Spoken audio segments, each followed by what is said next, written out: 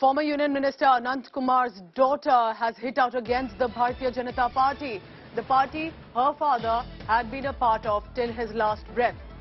Ananth Kumar's daughter has said that her father's contributions have been forgotten by the BJP. This is a big statement and I want to quote what she has said.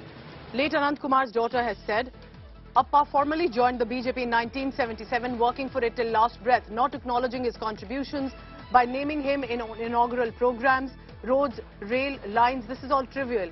He's alive in the heart of lakhs of people. The party that's forgetting him requires self-reflection. This is big.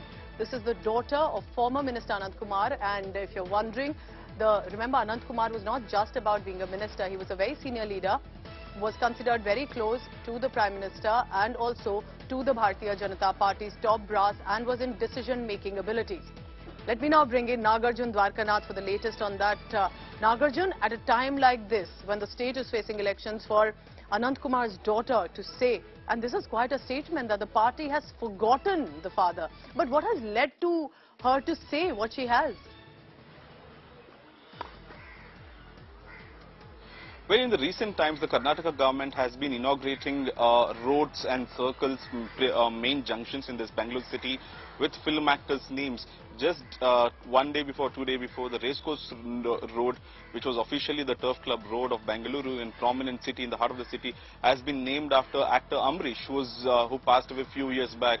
And uh, on the ring road of Bengaluru, Puneeth Rajkumar, who passed away recently, his name also has been uh, put in place for the road and uh, it's been called Puneeth Rajkumar Road.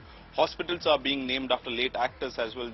That's when within the Karyakartas of uh, BJP South, especially that constituency represented by Ananth Kumar, they started questioning the party saying, why are we not naming anything after Ananth Kumar? He has done so much for the party here. Him and Yediyurappa together built Karnataka BJP from the scratch and yet no major junctions or major roads being named after him. That is the sentiments even uh, the daughter is putting it on social media today that the party which has forgotten her father needs self-reflection. Uh, remember Ananth Kumar was a very senior leader in BJP and a stalwart. He had been the general secretary of the party and he was in the parliamentary board as well. He was one of the bridges between the Karnataka BJP and the central unit.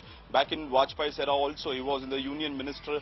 Uh, the moment he became uh, MP, he was inducted into the cabinet. Also, the known face for the hmm. southern politics for BJP, it was Ananth Kumar and back interestingly, the daughter says, yes, for all of this, it could just be trivial because uh, he lives in the hearts of lakhs of people. But the party that's forgetting Appa, her father, late Ananth Kumar, needs some self-reflection and perhaps the BJP leaders will be waiting if they react to what the daughter of Ananth Kumar Vijeta has said. Thank you so much Nagarjun Dwarkanath for the latest.